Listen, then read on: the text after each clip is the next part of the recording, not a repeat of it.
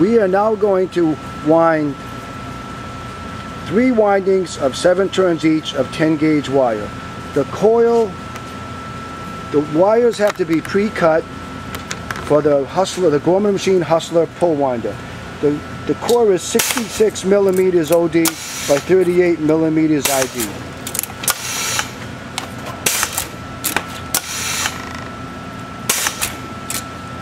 One of the initial turns has already been done. He's on the second sector right now.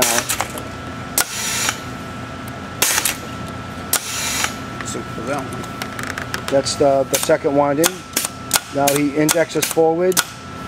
You know, he's going to grab the other wire. Machine's got plenty of pulling power with the, the booster cylinder. He uses a foot pedal down below.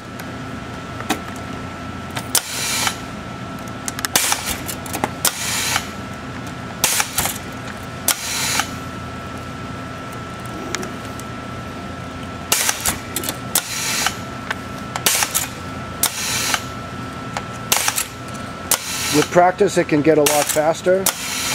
This is just a prototype for a customer. And that's the finished coil right there. Hold it sideways to the camera, Mike, the other way. There you go. So there's three separate windings.